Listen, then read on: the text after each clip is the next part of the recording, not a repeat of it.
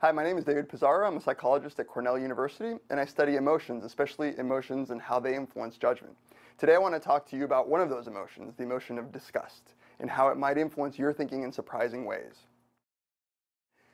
For a long time, psychologists have pointed to the power of emotions. In fact, emotions are those things that motivate us toward action. Many times, these emotions are things that motivate us toward actions that would keep us alive. For instance, our strongest emotions, emotions like fear, are ones that keep us from getting close to natural predators. There's a reason why we're afraid naturally of things like lions and snakes and spiders.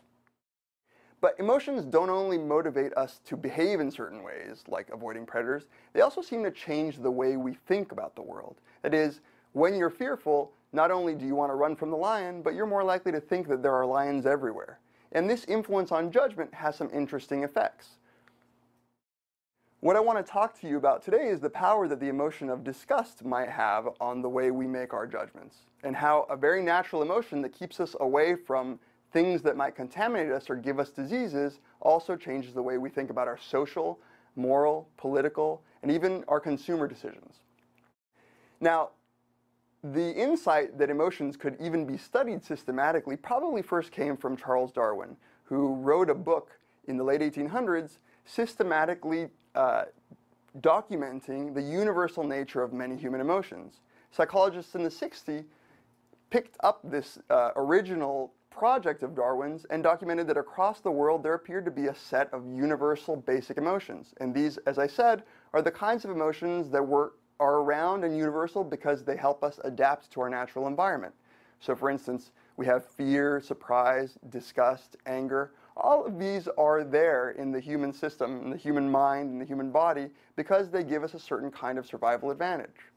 Disgust is one of these basic universal emotions. That is, no matter where you look, no matter what culture you look to, some people seem to have this natural aversive response to things that are gross, things that might contaminate us or give us diseases. This is a good emotion. It keeps our bodies clean, right? Disease is something that we've had to deal with throughout most of human history. So avoiding disease uh, with this natural program of disease avoidance that we might call disgust is a very good thing. You can see the origins of this even early in infancy. Um, if you take a bitter liquid or a sour liquid and you put it into the mouth of an infant, a newborn, what you'll see is something very much like the full-blown adult disgust face. They'll wrinkle up their nose. They'll even protrude their tongue, trying to get that thing out of their mouth. In fact, when we make a disgust response, even though we can't see that we're sticking out our tongue, we're often actually moving our tongue in that same way. So, one of the things that's very interesting about disgust, and actually one of the reasons I started studying it, was because it's very, very easy to make people disgusted. Some of the other emotions are hard to influence in the laboratory. That is, we can bring people in the lab and we can try to make them angry, we can try to make them afraid with various methods, but disgust we don't have to try very hard. I'm just going to give you one example of a disgusting image. Um, I'll just prepare you in advance and I'm about to show you something disgusting. Some of you might actually show that same emotion face that I just showed you where you wrinkle up your nose right? This is something that we might see in any day in, in, in, in our lives, um, but it's something that probably has a profound ability to make you feel disgust. Some of you might feel it more than others.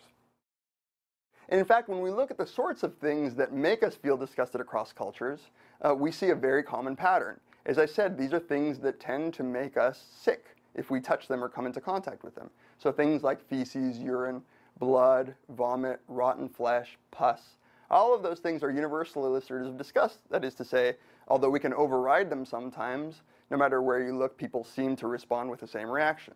And the, it makes sense. These things are also things that might actually make us sick. They're signs of disease. Now, when Darwin was investigating the emotions, he wrote something that I think was very insightful.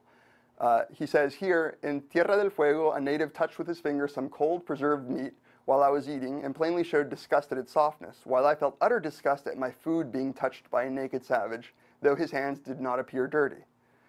So one of the things that Darwin is pointing out early on is that the same disgust reaction that he has, he saw in the savage. This was an early documentation of the universe, universal nature of disgust. But Darwin also points to something interesting, that is that we not only feel disgust for things that might contaminate us by putting it in our, putting it in our mouth or maybe by touching it, but we also feel disgust very easily at people, other people, people that might be foreign from us. And he also points to the fact that disgust, one of the real important features of disgust is that it works through contagion. To give you an example, if you stand next to a lion, I might be afraid of the lion, but I'm not now afraid of you. Disgust doesn't work that way. If you touch something disgusting, now that thing has the property of disgust. That is, through this association with the bad thing, that has now been contaminated and I don't want to touch it. And if you think about it, this is a very good thing if what we're trying to avoid is disease. So before we had an explicit theory of how germs spread and cause disease, the emotion of disgust was tracking contagion.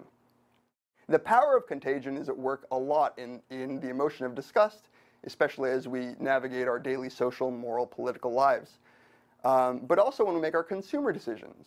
Let me give you an example from one study. Uh, researchers gave individuals a mug and asked them, how much do you think this mug is worth? This was compared to a group who were just asked, how much do you think this mug is worth, um, but were not given the mug. And it turns out in general, people think that their own, their own things are worth more. So if you say, how much would you sell this mug for? How much is it worth? If I've just given it to you, you actually think that it's worth more.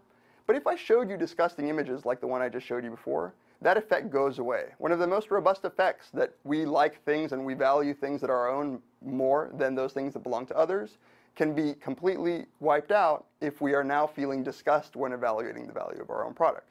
In another set of studies, if, if products that are disgusting touched products that were not disgusting, so in this case, uh, a product that has to come into close contact with the body, they use tampons.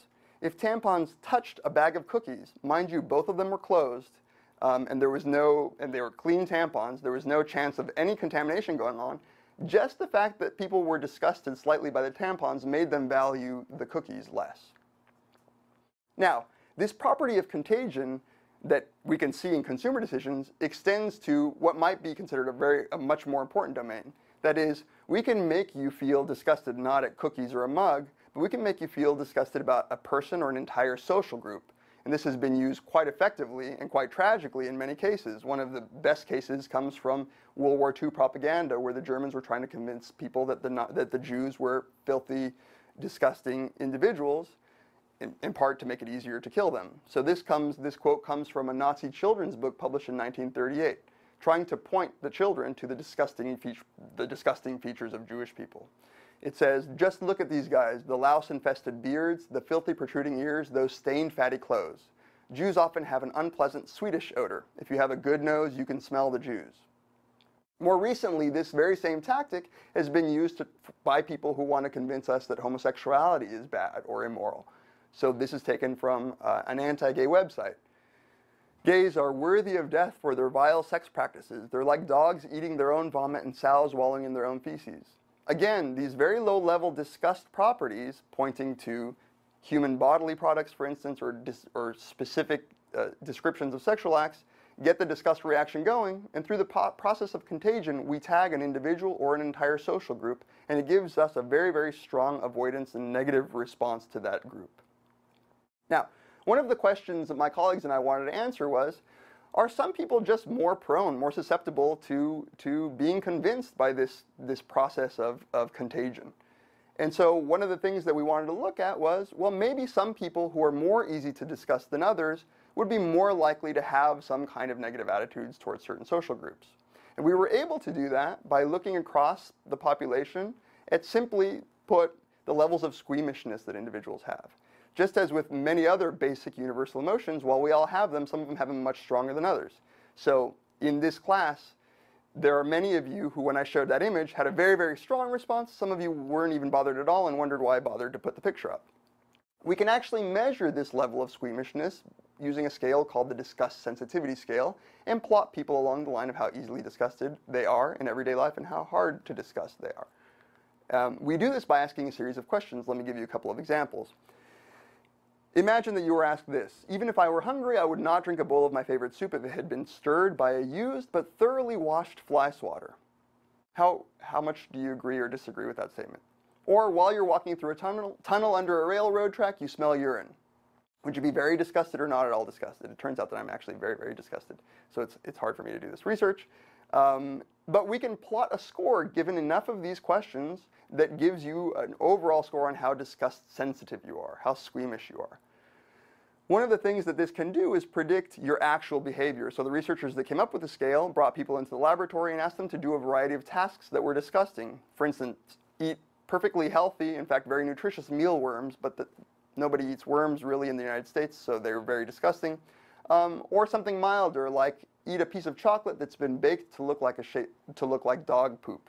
Um, it turns out people find people who are very easily disgusted are much less likely to do that than people who are not easily disgusted.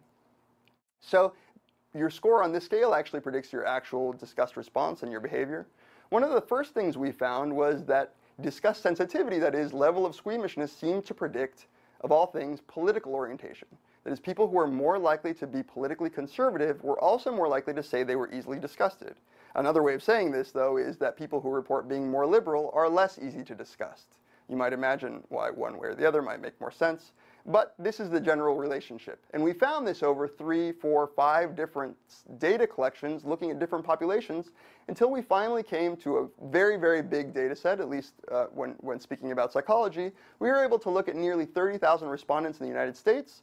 What you see on this graph is that people who are very conservative there on the right are much more likely to report that they are easily disgusted. That's higher numbers there indicate that they're more squeamish.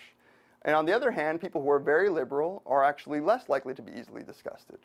We found this even though we were able to statistically control for a variety of factors that we know are related both to disgust sensitivity and to political orientation like socioeconomic status, income, education levels, religiosity, even some of the big personality traits that we know are associated with both. No matter what, we still found a general relationship between disgust sensitivity, how easily disgusted you are, and your political beliefs. And this actually predicted not just how you respond on a 1 to 7 scale of how politically conservative you are or liberal, but it also seemed to predict actual voting behavior. That is, when we looked at state by state voting results in the 2008 US presidential election, what we found was that levels of disgust sensitivity in a state predicted the margin of victory of Obama over McCain. That is, states that had in general higher levels of disgust sensitivity were uh, states where McCain actually got more votes compared to Obama. Now, we were wondering whether this was maybe just a feature of American politics, so we looked across the world. Across 121 different countries, here you see collapsed into a number of geographical regions, we asked the same kinds of political questions and disgust sensitivity questions.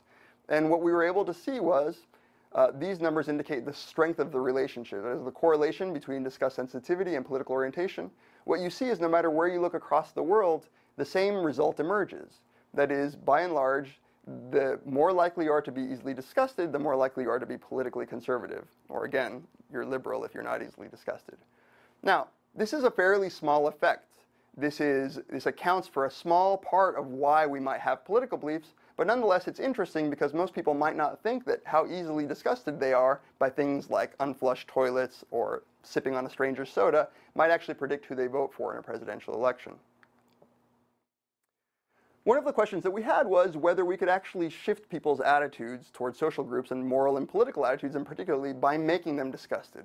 So what we did at Cornell in our lab was bring participants into the lab and ask them to fill out a series of questionnaires. In this particular study, we asked them to evaluate certain social groups. We knew that there was a strong link between homosexuality and uh, disgust because of the way that many people who are anti-homosexual talk about the sex act and use disgust in order to convince people. So we wanted to see if, uh, if making people disgusted in a completely unrelated way, that is, we weren't making them disgusted about sex or anything like that, we were making them disgusted with a foul odor. Essentially, we sprayed the room with a really nasty odor on every other day, and we brought participants into the lab and asked them what they thought about certain social groups. African Americans, the elderly, immigrants, gay men, and lesbian women. And what we found was that the foul odor had a particularly strong effect. In fact, the only effect we found was that it made people negatively evaluate gay men more. So that is, on the days when people had to evaluate gay men where there was a foul smell in the room, they were more likely to find, to report greater negative attitudes. Here this is plotting on a feeling thermometer. That is, from 0 to 100, how warmly or coldly do you feel toward gay men? Other labs have also looked at these differences using physiological measures. You might wonder whether self-report, that is, if, you ask, if I ask you how easily disgusted you are, maybe you're not so accurate. But if I hook you up to physiological measures, measures of heartbeat and skin conductance that we know are, are rough measures of arousal, and show you disgusting images, we find the same general effect. People who report being greater conservatives, uh, more likely to be politically conservative, are more physiologically aroused when presented with disgusting images. Liberals are less physically aroused. In particular, um, attitudes towards homosexuality and abortion were the ones that predicted more, most, whether or not people would be aroused by disgusting images that had nothing to do with those issues, such as dog feces. Well, there's another way to kick in this feeling that there might be contamination in the environment. So disgust is a particularly powerful way to do this, but disgust again is in the service of keeping us from getting sick. You can show similar effects by just reminding people that there is disease prevalent in the environment. And a number of researchers have used this disease avoidance as a manipulation. We thought, well, perhaps just reminding people that there's contamination in the environment might get them to change their political and moral attitudes. So we conducted a study where all we did was remind people that the swine flu was, was prevalent in Cornell and that they should uh, sanitize their hands. In one case, we explicitly told them that they should sanitize their hands and ask them a number of, of questions about their moral beliefs and their political beliefs. In another case, we actually just asked them to fill out a questionnaire either next to a hand sanitizing station or not. And what we found is was that a simple reminder to wash your hands actually had a pretty strong effect on your moral beliefs. In this case, beliefs about sexually weird but harmless uh, practices. I'll give you an example. Um, so we asked people, imagine that uh, Joe is house sitting for his grandmother, and Joe invites his girlfriend over, and they have sex on his grandmother's bed. Now, if I just reminded you that you should wash your hands because of the swine flu, you're more likely to find that to be morally wrong than if I hadn't. When we asked people to report their political orientation in the same set of studies, we also found this general effect that simply reminding people to wash their hands had a change in how conservative they reported being, politically conservative. So, again, a simple reminder of disgust or of contamination can change our consumer decisions, it can change our political decisions, it can change our moral decisions. This is a case in which disgust is not simply preventing us from eating things that might make us sick, but it's having a fairly profound influence on our social, political, moral judgments. The question that I want to leave you with is, now that we know this, we can finally get to the point where we can ask, when should emotions influence our thinking? Science isn't particularly well suited to answer this question. All we can do is point out how emotions work, how emotions can influence the way we make decisions and judgments. Um, but we have to now ask the additional question, now that we know that, should disgust shape the way, for instance, you vote who you vote for in the political in the political elections, what you vote for about gay rights, or what you buy at the grocery store. Thank you very much.